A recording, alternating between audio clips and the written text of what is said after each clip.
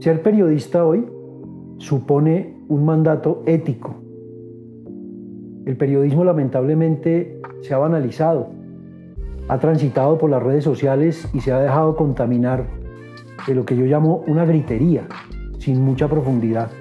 Y el periodismo no puede caer en eso. Por eso estudiar periodismo y formarse para ser periodista supone mucho rigor, supone mucha inteligencia, supone comprender el mundo y comprenderlo para poder actuar en el mundo. El periodismo es escuchar, investigar y transmitir información más que de interés verídica. Nos permite hacer un análisis crítico del cómo y el por qué de los acontecimientos en nuestro entorno.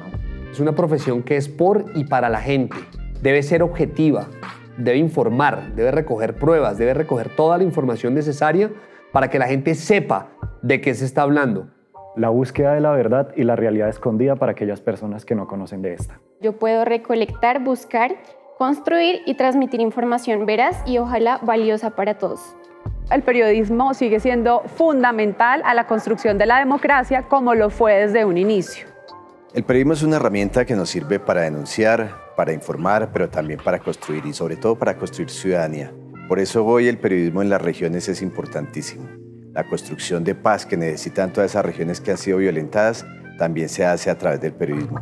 Es una pasión, una pasión que significa conocimiento, dedicación, entrega, pero sobre todo mucha disciplina. El periodismo es el arte de informar y comunicar con eficacia, pasión y amor por la verdad. El periodismo hoy es la oportunidad de enfrentar la profunda crisis que estamos viviendo como sociedad en los medios de comunicación y también en la empresa privada. El periodismo es una herramienta vital para la construcción de sociedad y de país.